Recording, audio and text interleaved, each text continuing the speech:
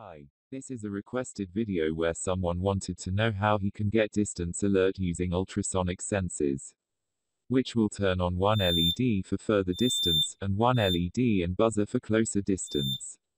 I'm sorry my friend, unfortunately I didn't have two ultrasonic sensors. So I did it with one, but you can just add another one very easily. I hope this video will help you.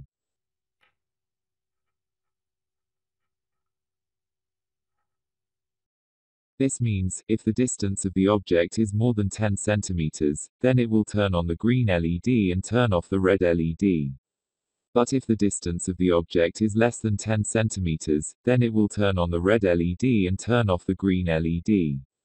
And with the red LED the buzzer will start buzzing.